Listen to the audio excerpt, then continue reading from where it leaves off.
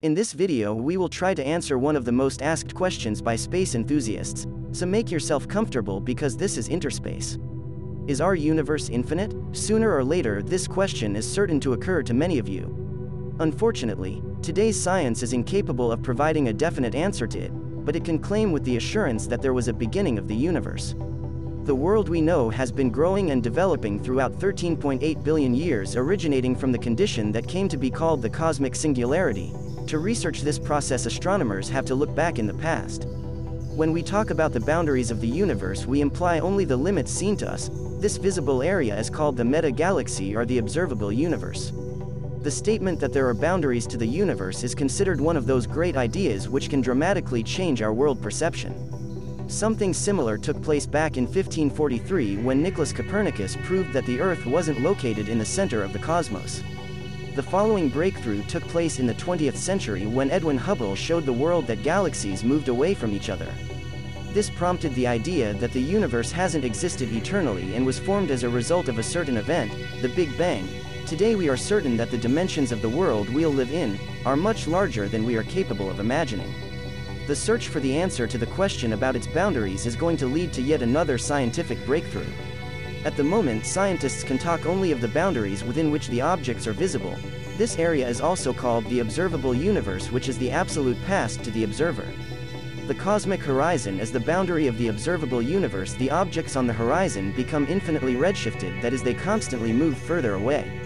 The number of galaxies within the observable universe is estimated at upwards of 500 billion with this number increasing on irregularly as the research equipment becomes more advanced, but how big is the observable area of the universe today?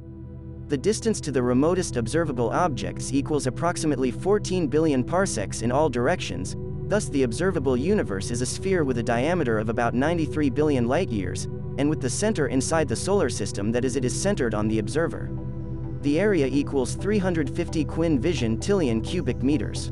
It should be mentioned that the light emitted by the furthermost observable objects has been traveling for 13.8 billion light-years before reaching us, however, the distance to those objects has significantly grown due to the never-ceasing expansion of the universe.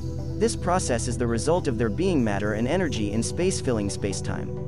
While there is matter in space there is gravitational force therefore the universe either shrinks affected by gravity or expands affected by dark matter it is also worth noting that there isn't a single center for the universe's expansion just like there isn't a space for the universe to expand into beyond its boundaries.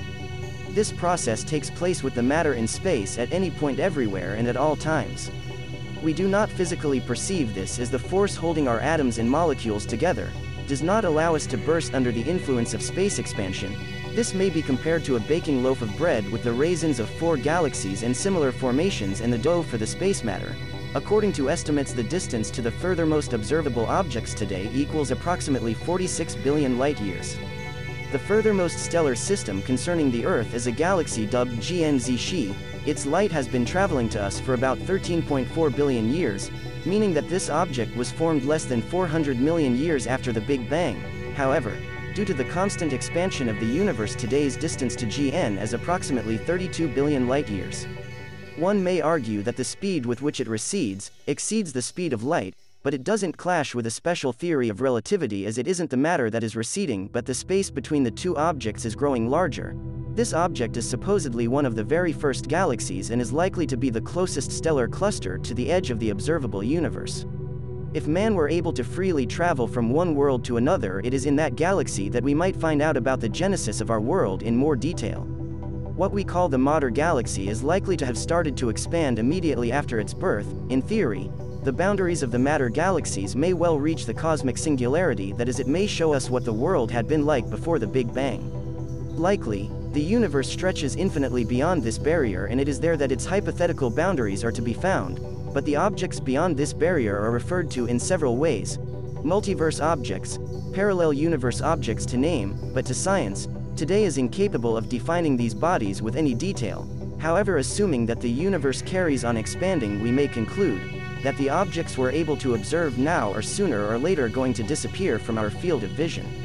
If the accelerating expansion of the universe continues indefinitely, the galaxies beyond our supercluster, are sooner or later, going to recede beyond the horizon, as a result, thus becoming invisible to us, any form of communication beyond the boundaries of the observable universe will be rendered impossible and any contact between the objects will be lost of the Earth, the solar system, the Milky Way and our supercluster, will be mutually observable whereas the rest of the universe will recede in the distance. There may be hypothetical worlds beyond the regions observable to us, as they originate as a result of phase transitions of physical vacuum, alternatively, there may be objects forming out of irregularities of relic radiation located closest to the particle horizon.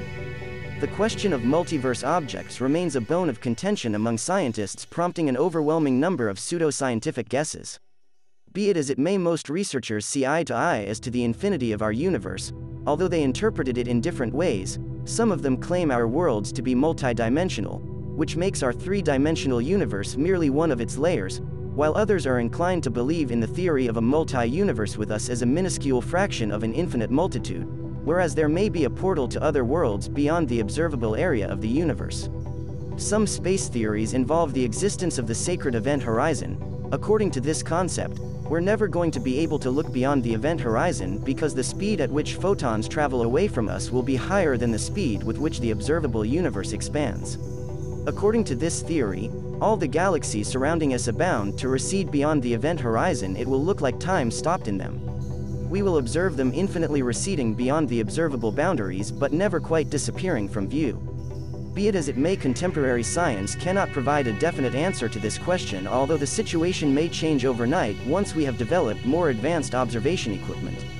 The universe might turn out to be a sort of sphere and traveling over it might remind one of traveling on the spherical surface of our Earth considering the scale it reaches, however, this prospect appears impossible to reach the edge of the observable universe, it would take man 46 billion years even if we travel at the speed of light, by the time we reached this designated point it would have moved the same distance away and a similar journey would have to be embarked upon.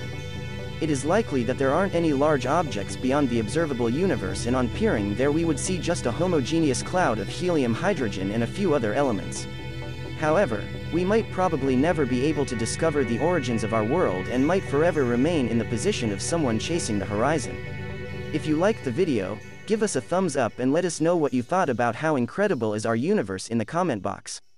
This was Interspace, see you in the next video.